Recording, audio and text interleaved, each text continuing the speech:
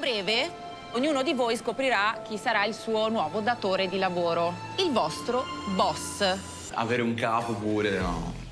Una cosa assurda. I bossi. Cosa succederà? Che alla fine di ogni settimana lavorativa i vostri boss vi consegneranno delle buste paga. Questa è una cosa carina. l'unica Se cosa avrete lavorato bene, la busta paga sarà piena e potrete proseguire la vostra avventura in Messico. Se non avrete dimostrato impegno e responsabilità, la busta paga sarà vuota e voi sarete a rischio eliminazione.